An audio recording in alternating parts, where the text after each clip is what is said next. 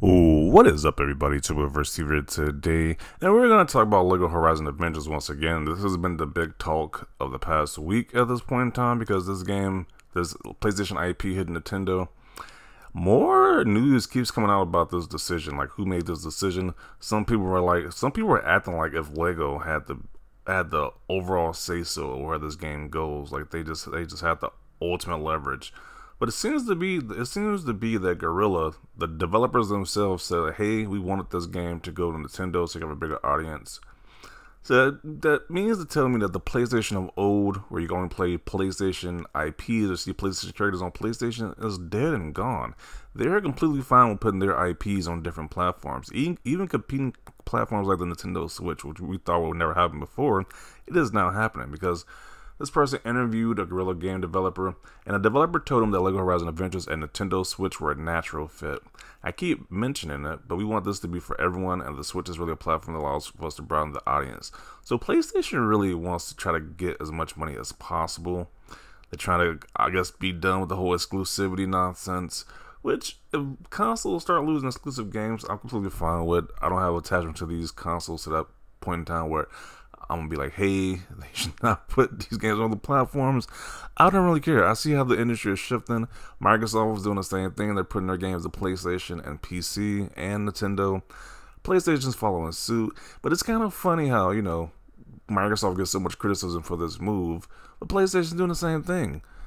You're seeing PlayStation characters now on Nintendo now. And the developers saying, hey, we welcome that. We want to do that. We want to expand our audience base. Another tweet saying Guerrilla Games says it'd be nice for Aloy to get an invite to Smash Bros. They want, once again, a big PlayStation character to be on a Nintendo platform, one of their biggest games. They want the invite to Smash Bros. for Aloy. They want that to happen. the way that Banjo Kazooie got the recognition of being a uh, Microsoft IP, they want the same recognition for their PlayStation IPs. Because PlayStation gamers aren't enough they don't buy exclusives like that, so they need this to reach a bigger audience. And now you have the pre-damage control of some of these game journalists saying, why the gradual death of the console exclusive makes business sense. So they're completely fine. It's just it's just hilarious how they're fine with these exclusives no longer being exclusives now. Before with this Xbox, it was doom and gloom. Microsoft does have, have have no idea what they're doing. They're ruining the gaming space. But now PlayStation's doing it. You know, this is completely fine. It makes completely business sense. Just complete hypocrisy. the people who crucify Xbox about making their games multi-platform, why are they doing this? Are now fine with PlayStation doing it. Once again, PlayStation does it, everything is fine. When Xbox does it, it's a bad thing. And then PlayStation copies what Microsoft does, so it's just even more. It's just more hypocrisy right there because they literally just copy what Microsoft do. But you know, Apparently, Microsoft has no idea what they're doing. You know, they're worth a lot of money, trillions of dollars, but they have no idea what they're doing. So, this is the console space nowadays. Some people might hate it, some people might love it. I don't. Me, I'm indifferent. I kind of want the stuff to go multi-platforms. I can just have one box to play everything. That's the ideal situation. But these companies still want to kind of have some type of leverage on exclusivity, even though they're like half-ass in it. Exclusivity is just weird at this point in time right now, this transition period. It's like you either want to make games be on all platforms or don't don't don't do it. It's just very weird. But yeah, this is the state of PlayStation right now. Their games are case by case basis. They open up Pandora's box. PlayStation might as well be a third party platformer at this point in time. Third time exclusivity to PS5, but their game is gonna be other platforms eventually. It's kind of the notion I'm getting from PlayStation right now. So uh, it's just kind of funny how once again, PlayStation was like, hey, these games are only exclusive to PlayStation, but that is no longer a thing. And people want to deny it. They want to like say postpone it, say, hey, this is only this one scenario. But once again, it's kind of evident that they want more money for these games. These games cost a lot of money. They want they want to recoup that money by any means necessary. So, it's kind of the way that things going nowadays. so the console wars are going to be pretty much interesting or pretty much non-existent. So at this point in time, because if Blazers are bringing their games to every platform, then what is it really a console war? We'd be arguing about time exclusivity at this point in time. It was like your games will be going everywhere. we'll be arguing about time exclusivity. It's just going to be a dumb conversation. So what are people saying about this? Lego Aloy. So we have a PlayStation character and a Lego rep. Industry plant. Calling this game an Industry Plant. If we get a PlayStation slash Sony rep, I feel like there would be way better choices. Uh, damn, Sony doesn't give a damn about their IP's exclusivity. I mean, some people said the same thing about Microsoft. Once again, we're in a scenario where Sony is literally copying Microsoft. Now the Pony executives are begging to put Aloy in a Nintendo game. Man, they really sold their mascot down the river with a quickness. You can't make this crap up. I mean, you saw how they ditched Sackboy. Sackboy is supposed to be the biggest uh, mascot, especially like the PS3 generation. They gave they gave Sackboy the boot with the quickness. So I don't, I don't know why you think they wouldn't do the same with Aloy. They're pushing Aloy real hard this time to put her on everything.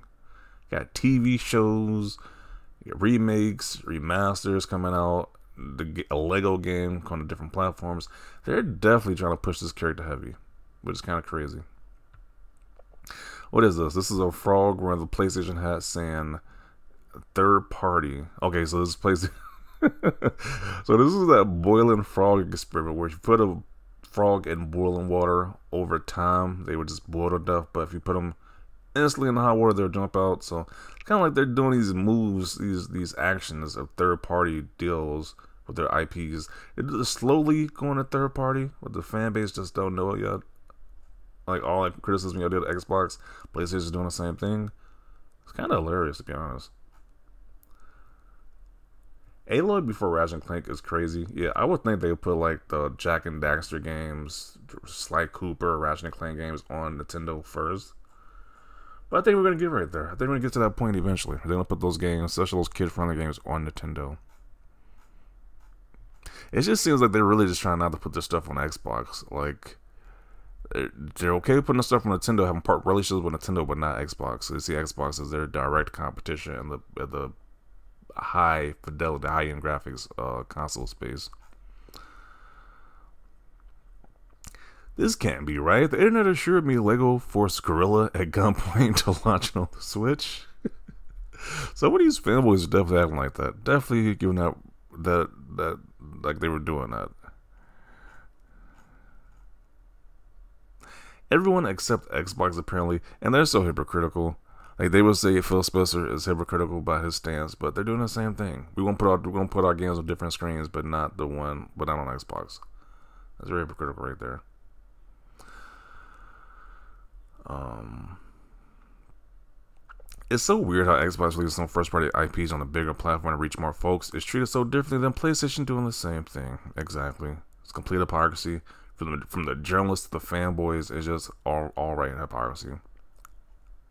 Like they're both doing the same tactic to reach a bigger audience. They're putting their games on different platforms, but people aren't having that same energy with the PlayStation one, putting their games on Nintendo. Like, it's big news, but the outcry is not the same as when we saw Microsoft putting their games to um to PlayStation. We literally had like the Xbox Civil War happen, where people who were known Xbox fans said, "I'm done, I'm leaving." No little temper tantrum crowd sessions they were doing on having long Twitter spaces. You know, that same energy is not being kept here, which is kind of crazy. The energy is not being kept. It's like it's not being kept, and we're getting articles like this where it's a good it's a good move on PlayStation do it. Microsoft starts a weird trend and Sony follows. I don't get it. There's a reason why Microsoft is doing what they're doing. Sony has no reason to do the same. People still buy their consoles and games. This will probably backfire in the end. Um, people buy the consoles, sure, but they're not buying those exclusive games like that. Like those, when you see the attachment rate, that's not true. People are buying Madden, 2K, they're buying FIFA, they're buying the most casual games possible. And the big, the biggest boost PlayStation is gonna get is when GTA 6 drops. It's like that's gonna be the biggest boost. It's not gonna be their exclusives. It's gonna be GTA 6. As it was Call of Duty before in the past, it's gonna be GTA 6 when that game releases which sells the most PlayStations. So, but yeah, if you want to do the whole, like I said, the console thing is pretty much dead. The only person who's really truly having exclusives like that is Nintendo. They're the only ones who are putting their games on the platforms. Everybody else is doing they're putting their games on the platforms because they need the money. these games are too expensive, so it is what it is.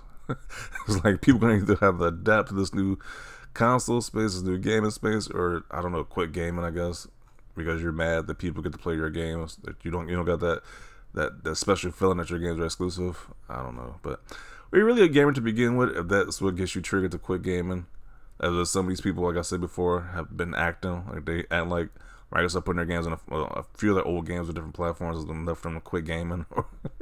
it's just very weird. It is very weird, but at the end of the day, this is gonna be the future.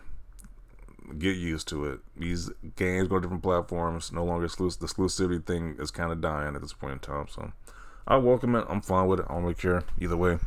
But these are my thoughts about this. Definitely hear yours, hear yours down below. Leave a like if you like this video. And as always, thanks for watching and peace.